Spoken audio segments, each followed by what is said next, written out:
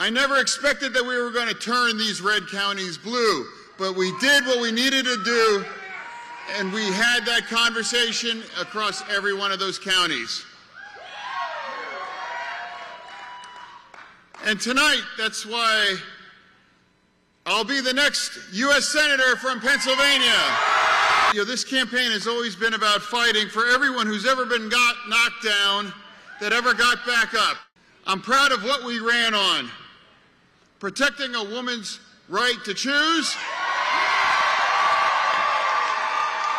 Raising our minimum wage. Fighting the union way of life.